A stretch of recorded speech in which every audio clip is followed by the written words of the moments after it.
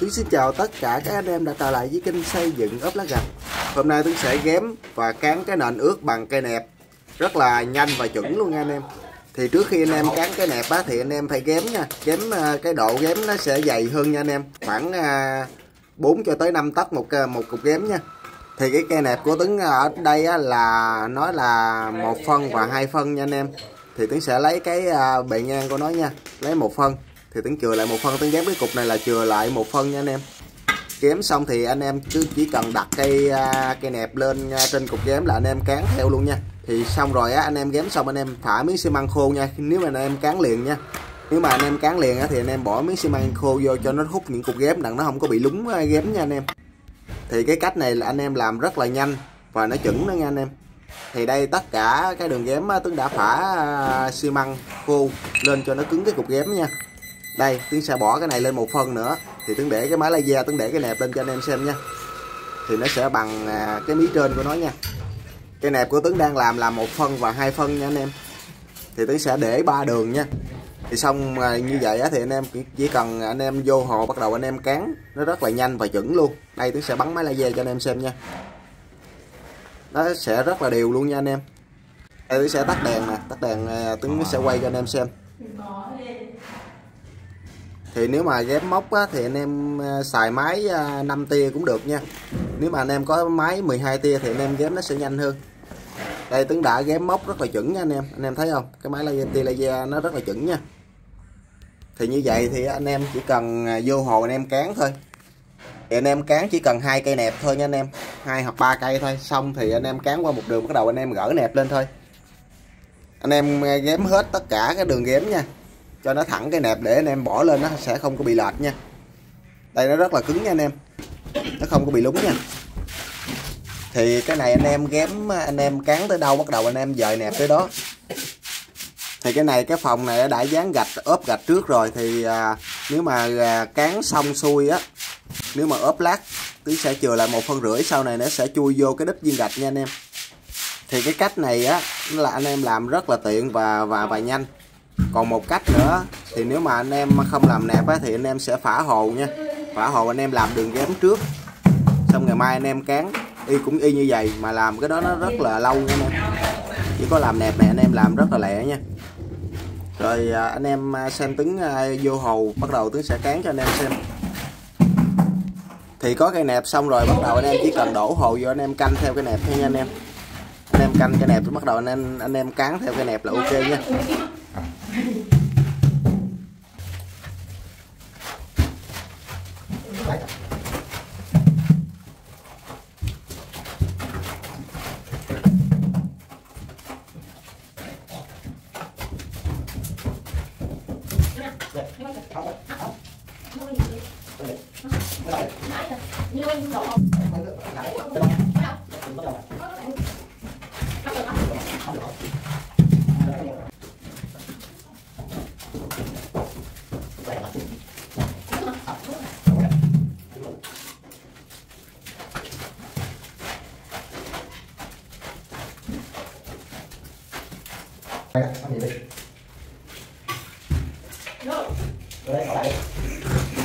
thi công cái nền ướt này nó rất là chắc nha anh em. Thứ nhất nó đủ nước nha.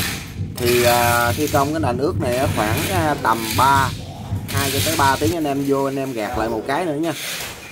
Nền ướt này nó sẽ bị trũng nha anh em. Nó, khi nó con ngót lại á nó sẽ bị trũng ít nhiều thôi thì cái này anh em cán tới đâu á cán tới đâu thì anh em à, nếu mà anh em cán à, cán nhiều á cán vài trăm mét á, thì tới đâu anh em rút cây cái cây tới đó nha anh em ghém một đường cho nó thẳng nha anh em ghém móc một đường cho nó thẳng thì anh em tới đâu thì anh em kém anh em à, cán xong tới đâu thì anh em rút cái cái cây à, nẹp ra thì anh em bắt đầu anh em bỏ anh em cắm tới tới luôn thì tính cán xong cái này á, bắt đầu tướng sẽ đi gạt lại cho anh em xem nha.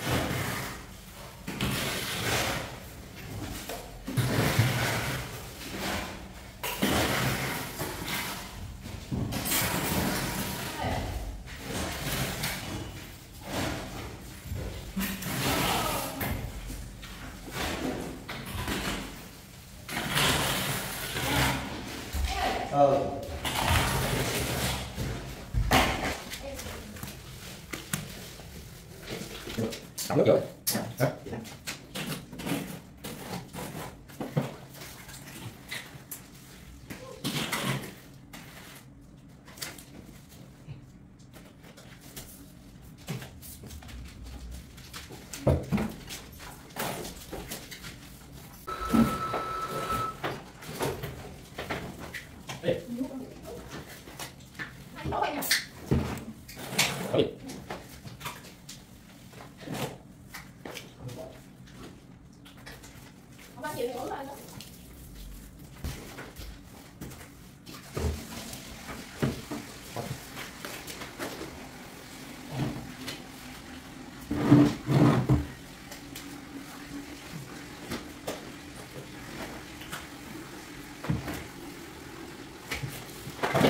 rồi như vậy khoảng cỡ 3 cho tới à, 2 cho tới 3 tiếng anh em. Vào anh em à, gạt lại à, một cái nữa nha anh em.